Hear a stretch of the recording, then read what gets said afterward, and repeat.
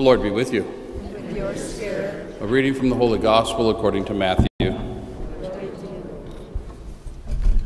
When Jesus was born in Bethlehem of Judea, in the days of King Herod, behold, Magi from the east arrived in Jerusalem, saying, Where is the newborn King of the Jews?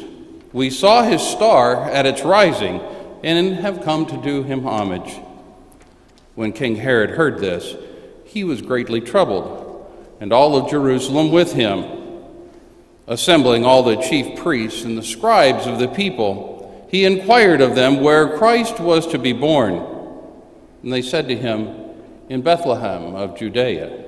For thus it has been written through the prophet, And you, Bethlehem, land of Judah, are by no means least among the rulers of Judah since from you shall come a ruler who is to shepherd my people Israel.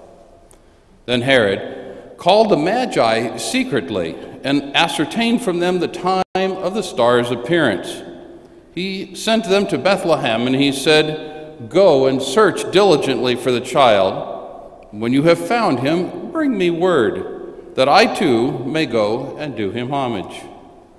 After their audience with the king, they set out. And behold, the star that they had seen at its rising preceded them until it came and stopped over the place where the child was. They were overjoyed at seeing the star, and on entering the house, they saw the child with Mary, his mother. They prostrated themselves and did him homage. Then they opened their treasures and offered him gifts of gold and frankincense and myrrh. And having been warned in a dream not to return to Herod, they departed for their country by another way. The Gospel of the Lord.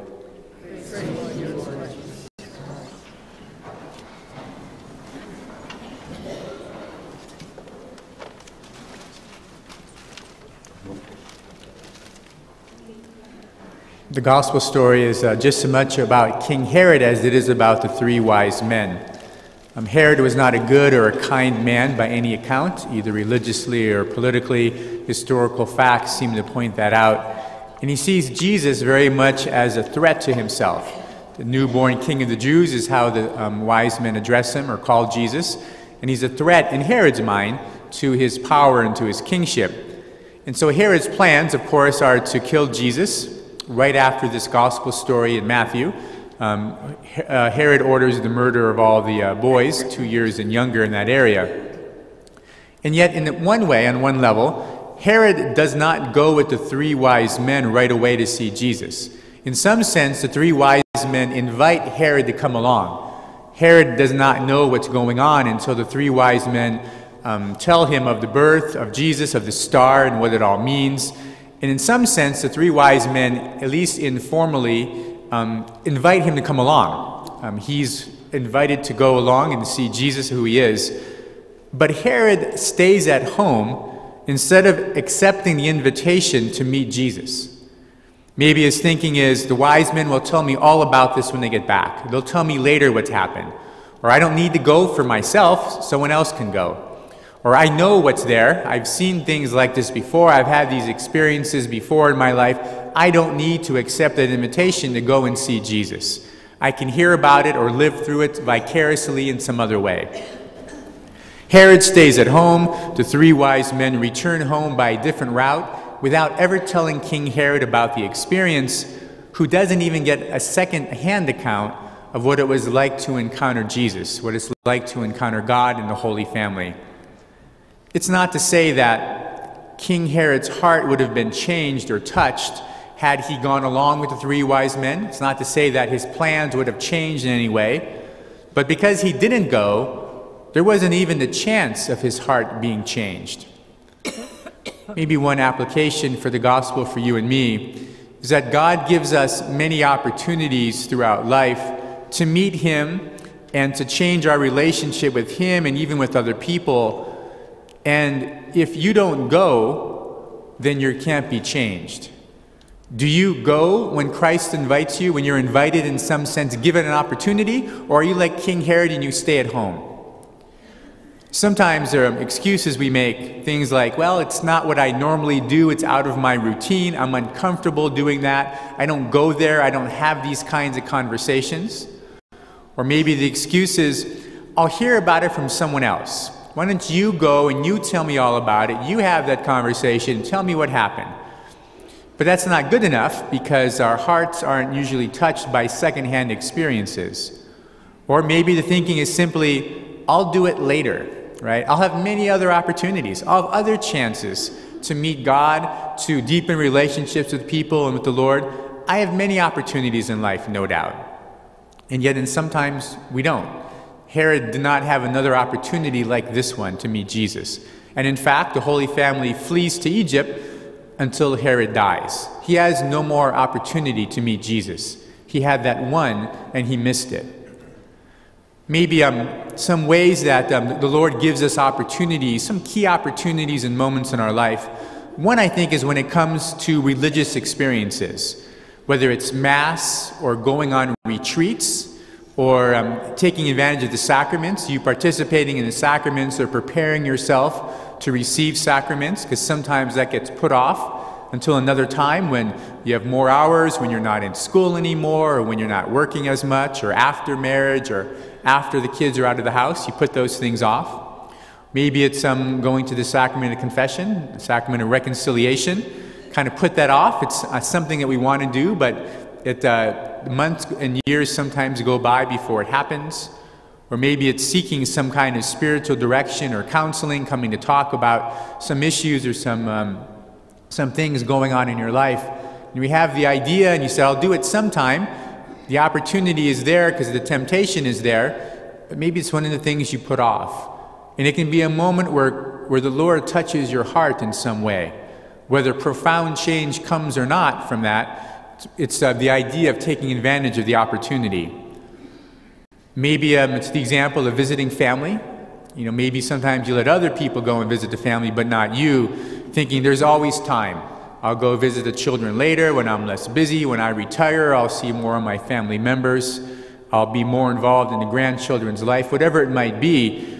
Again, sometimes those opportunities don't come again. And even if they do, the ages of people have changed. And the uniqueness about that, that moment, that opportunity is gone. And it can't be um, gotten back. Maybe it's um, opportunities to study um, thinking, okay, I'll put off schooling to another time. I can do this later on in my life. Putting off um, um, being a student and kind of finishing a career and getting a, a path, um, some kind of job in your life. Maybe it's opportunities to learn more about the Catholic faith.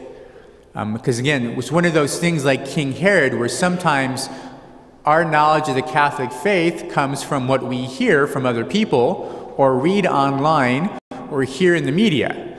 And so, and that's hardly ever accurate of what the Catholic Church truly teaches or truly says, or what the Pope really said. Maybe it's the opportunity to read Pope Francis's new letter, right? The Joy of the Gospel, which is very accessible, meaning it's an easy read, maybe the most, the easiest read from a Pope in a hundred years, I would say at least. Um, they're all, they've all been kind of convoluted and difficult from uh, about 120 years ago until Pope Francis great um, ideas, very practical things in life, and things that will have you, you know, proud to be Catholic and nodding along, saying, "Yeah, we, I need to change, and my church needs to change in some ways as well." Maybe it's you taking the opportunity of learning more about your Catholic faith, especially on difficult topics or the things that you find hard to accept. Church teaching on marriage. Pope Francis has asked for that whole survey on marriage and there's an idea about um, what the beauty of what our church teaches about marriage and what it should be like. Maybe it's church teachings on life issues, on social justice, on homosexuality, on some of the more difficult um, topics in the Catholic faith. But to learn the, what the church truly says, and maybe also to understand the beauty of what the church teaches on these ideas, the beauty and, and the sensibility of it all. Again, sometimes we try to just get that secondhand like King Herod tried to get knowledge of Jesus secondhand. Maybe one of the main areas, though, to not be like King Herod, to take to seize opportunities, is in conversations with people. Maybe connecting with some good conversations and some of the people most important in your life with family members, with a spouse, with children, with parents, with your siblings, with good friends. Sometimes, especially in family life, maybe especially with children, sometimes they present themselves or give you an opportunity or an opening for a good conversation. And sometimes you don't take advantage of that. It could be simply because you're, you're tired or you, maybe you miss it a little bit or you're not in the right mood for it, but sometimes they are. Or sometimes a spouse gives you an opening for a deeper conversation, a better conversation. Or siblings or friends or whatever it might be. And it, it's uh, important maybe to take advantage of those kinds of opportunities. They don't always present themselves again. And it's a moment that can touch the hearts of each one of you, can deepen some relationships, forge different bonds, and it kind of um, matures and moves the relationship along. Because as we all grow and change, so do our relationships, but sometimes our conversations aren't deep and they don't um, help move that relationship along, so it's kind of stuck where it was years ago. And those opportunities don't always present themselves. They're not always there. Um, maybe you can think of some in the past couple months or so, given the, the holidays that just passed. But I think it's important in many ways to take advantage of those moments and those kinds of opportunities.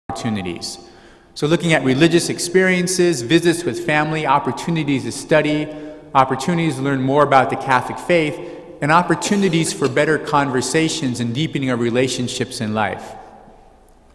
Some of our opportunities don't come around over and over again. And you don't want to be like King Herod, where you stay at home and you expect other people to tell you what it's all about, what God is all about, what religion and spirituality is all about, and what being a part of a family is all about. You want to experience that for yourself firsthand as well. It's important that you, um, that you be there, not be like King Herod. It's still the beginning of the new year, a good time to make resolutions, maybe just one for this year, so that you might be able to see opportunities in your life, but not just see those opportunities, but to seize them as well, so that you're not like King Herod. You don't just um, live vicariously through others, you see the moment, you accept the inv- invitation to meet God and to meet others.